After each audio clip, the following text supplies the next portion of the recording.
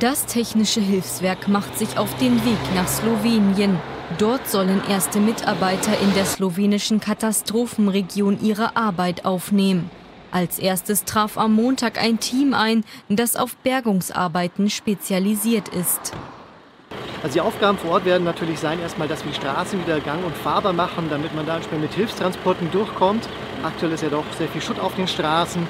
Wir werden entsprechend teilweise Häuser beiseite räumen, die im Weg stehen und die slowenischen Kräfte entsprechend dabei unterstützen, erstmal die ganzen Trümmerfelder zu beseitigen. Slowenien hatte am Wochenende um Hilfe aus dem Ausland gebeten.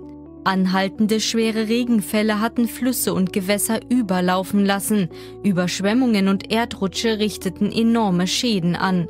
Es ist die schwerste Naturkatastrophe in der Geschichte des seit 1991 unabhängigen Landes.